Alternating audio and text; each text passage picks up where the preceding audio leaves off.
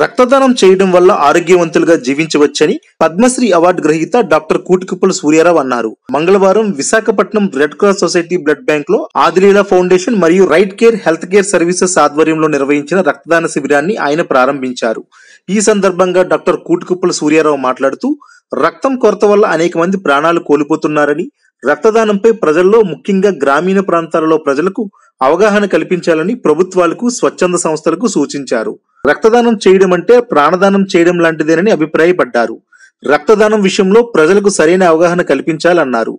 రక్తదానం చేయడం వల్ల ఆరోగ్యంగా జీవించవచ్చని తెలిపారు. రక్తదానం చేసే దాతకు హెచ్ఐవి హెపటైటిస్ బి సిఫిలిస్ వంటి పరీక్షలు చేయాలని కోరారు. ఆదిలీలా ఫౌండేషన్ ఆధ్వర్యంలో right care health care services మరియు red cross society Dadati foundation upskill Bharat charitable trust సహకారంతో నిర్వహించిన ఈ కార్యక్రమంలో నూట ఇరవై మందికి పైగా రక్తదానం చేసినట్లు నిర్వాహకులు డాక్టర్ ఆదినారాయణ తెలిపారు.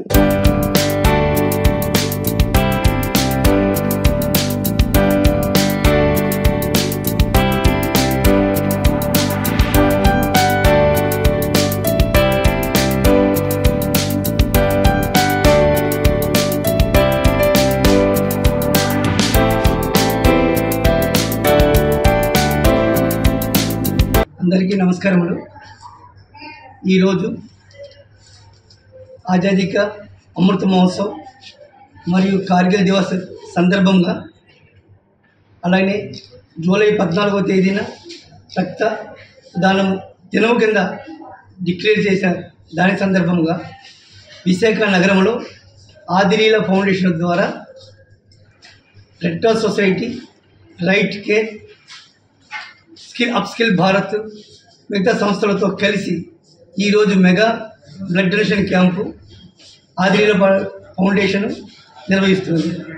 ముఖ్యంగా ఆదిలీల ఫౌండేషను ఢిల్లీలో గత ఇరవై ఐదు సంవత్సరాల నుండి విభిన్న ప్రాంతాల్లో విభిన్న రాష్ట్రాల్లో కల్చరల్గా సోషల్గా చారిటబుల్గా వెల్ఫేర్గా ఎడ్యుకేషనల్గా ఎన్నో వేల కార్యక్రమాలు చేస్తూ ఈ రక్తదాన శిబిరాన్ని దేశమంతటా మన రక్తదానం కొరత తీర్చినందుకు మా వంతు ప్రయత్నము మన దేశంలో చేస్తున్నాము సుమారుగా రోజుకి రక్తదానం కొరత వలన ఐదు వందల మంది చనిపోతున్నారని ఒక ఆంకడ ఉంది. ఎందుకంటే మన యువత పల్లె నుండి నగరముల వరకు ఉన్నప్పటికీ కూడా జీరో పాయింట్ టూ పర్సెంట్ రక్తదానం జరుగుతున్నది. వాటి సంఖ్య పెంచి రక్తదానము కొరత రక్తం కొరత లేకుండా అందరికి ఉపయోగపడాలని అలాగనే తలసీమే అనే ఒక వ్యాధి వలన వాళ్ళకు ప్రతి నెలకు ఒకసారి ప్రతి ఇరవై రోజులకు ఒకసారి అంటే ఆ రిక్వైర్మెంట్ బట్టి బ్లడ్ చేంజ్ చేయాలి. ఆ కొరత లేకుండా ప్రాణ నష్టం జరగకుండా ఉండాలని ఒక ముఖ్య ఉద్దేశంతో దేశమంతటా రక్తదాన శిబిరంలో ఆదిలీల ఫౌండేషను వారి బృందం అందరితో కలిసి విభిన్న ప్రాంతాల్లో చేస్తున్నామండి.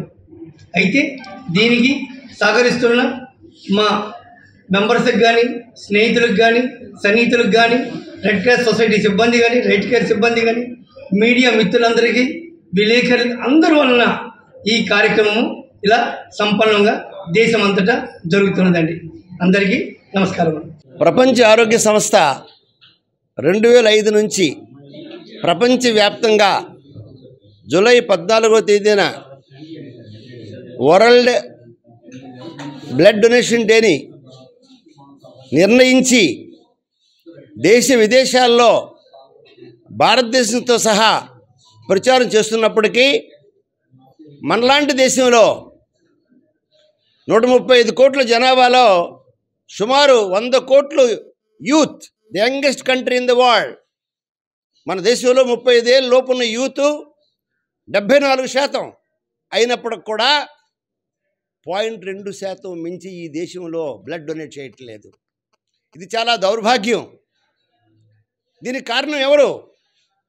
ప్రజలు ప్రజాప్రతినిధులు పాలకులు అలాగే ఈ ఈ యొక్క రాష్ట్రాన్ని పరిపాలిస్తున్నటువంటి ప్రతి ఒక్కరు కూడా ఎందుకు ఈ దేశంలో బ్లడ్ డొనేషన్ బాగా జాగడం లేదని ఒక్కసారి ఆలోచిస్తే ఈవేళ ప్రతిరోజు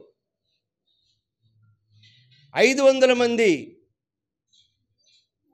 రక్తం సమయానికి అందకపోవడం వల్ల ప్రాణాలు కోల్పోతున్నారు. అంటే సారైన పన్నెండు వేల మంది చనిపోతున్నారు. It is a preventable problem. అంటే అతి సులువుగా నివారించుకునే మరణం ఇది.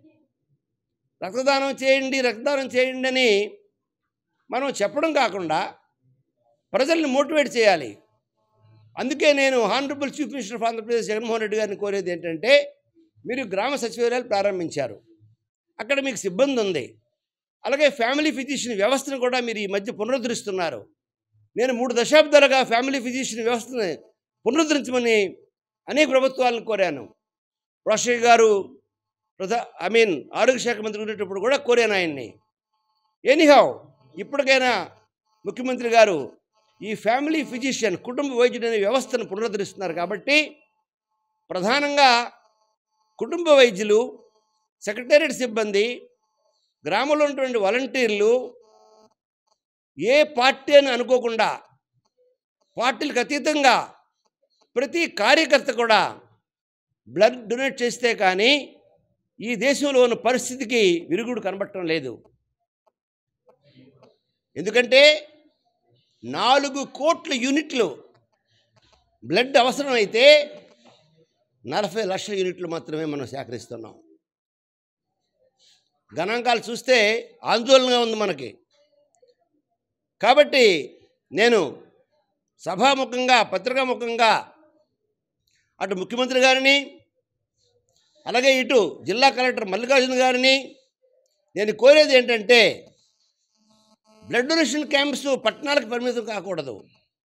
పల్లెల్లో గిరిజన ప్రాంతాల్లో తాలూకా ప్రాంతాల్లో అక్కడున్న సిబ్బందిని ఉపయోగించుకొని యూ గివ్ ఏ మ్యాండేట్ ప్రతి నెల తప్పకుండా గ్రామంలో బ్లడ్ డొనేషన్ క్యాంప్ జరగాలి అని మీరు ఆదేశాలు జారీ చేయండి. అలాంటి కొత్త రకమైనటువంటి ఉత్తేజం వస్తే కానీ మనకి రక్త నిల్వలు సరిపోవట్లేదు. రెండోది బ్లడ్ డొనేట్ చేస్తే ఎవ్వరు నీరసం చెందరు. According to a research published in NEJM అంటే new England journal of medicine ప్రకారం బ్లడ్ డొనేట్ చేస్తే అనేక జబ్బులు రావు ఆరోగ్యంగా ఉంటారు వాళ్ళు. కాబట్టి బ్లడ్ డొనేట్ చేస్తే వీక్నెస్ అయ్యేది ఒక మిత్ మిత్ అంటే మూఢనమ్మకం అది.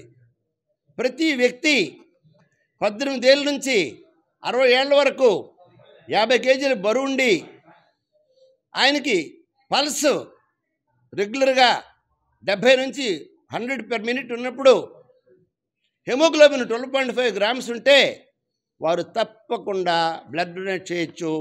ప్రతి మూడు మాసాలకి బ్లడ్ డొనేట్ చేయొచ్చు. ఈ బ్లడ్ డొనేట్ చేయడం వల్ల ఈ బ్లడ్ డొనేట్ చేయడం వల్ల ప్యాకెట్. బ్లడ్ డొనేట్ చేయడం వల్ల దానిలో నాలుగు కాంపనెంట్స్ ఉంటాయి. ప్రధానంగా రెడ్ బ్లడ్ సెల్స్ ప్లాస్మా తర్వాత ప్లేట్లెట్స్ హోల్ బ్లడ్ సో నాలుగు రకాలైనటువంటి అవసరాలు తీరడానికి ఈ బ్లడ్ పనిచేస్తుంది. కనుక మీడియా మిత్రులు కూడా దయచేసి రక్తదానాన్ని ప్రోత్సహించండి. ఒక ప్రాణం కాపాడండి. అనే కాకుండా పదే పదే ప్రజల్లోకి ఈ సందేశాన్ని తీసుకెళ్ళి బ్లడ్ డొనేట్ చేయడం అంటే ఏదో లీటర్ లీటర్ బ్లడ్ ఏం తీసుకెళ్ళిపోరు మీ దగ్గర. ఒక మూడు వందల యాభై ఎంఎల్ బ్లడ్ మాత్రమే తీసుకెళ్తారు. త్రీ ఫిఫ్టీ ఎంఎల్ బ్లడ్ మాత్రమే. అయితే ఆ బ్లడ్ డొనేట్ చేసే ముందు ఆ వ్యక్తులకి హెచ్ఐ ఉందా లేదా? Hepatitis B hepatitis C syphilis ఈ నాలుగు పరీక్ష చేసిన తర్వాత ఈ బ్లడ్ని తీసుకోవడం జరుగుతుంది. ఇది మూడు వందల యాభై ఎంఎల్ బ్లడ్ ఇది అంతే. ఇది ఇచ్చిన తర్వాత ఏమి ఆందోళన చెందే పని లేదు. కాకపోతే బ్లడ్ డొనేట్ చేసే ముందు ఆ వ్యక్తి కడుపు నిండా భోజనం చేయాలి ఓ రెండు గంటల ముందు. హైపోగ్లైసిమియాతో బ్లడ్ డొనేట్ చేయడం మంచిది కాదు. అలాగే బ్లడ్ డొనేట్ చేసిన తర్వాత హైడ్రేషన్ కోసం ఎక్కువగా నీళ్ళు తాగడం లేదా ఫ్రూట్ జ్యూస్ తాగడం ఆ రకంగా చేయాలి. అంతకు మించి ఏమీ దీనిలో కష్టమైనటువంటి పనులేమీ లేవు. కాబట్టి ప్రజల్లోకి దీన్ని తీసుకెళ్ళాలి. ఈ ప్రక్రియ కొనసాగుతూ ఉండాలి. ఏ రోజైతే ఈ దేశంలో బ్లడ్ లేకపోవడం వల్ల మనిషి చనిపోవడం లేదనే వార్త వస్తుందో అంతవరకు మన ఉద్యమం ఆగకూడదు. మనందరం కూడా చేయి చేయి కలిపి బ్లడ్ డొనేషన్ని ప్రోత్సహించాలి. బ్లడ్ డోనర్ని మోటివేట్ చేయాలి. బ్లడ్ డొనేషన్తో సమాజాన్ని ఆరోగ్యవంతంగా తీర్చిదిద్దాలి. జై హింద్.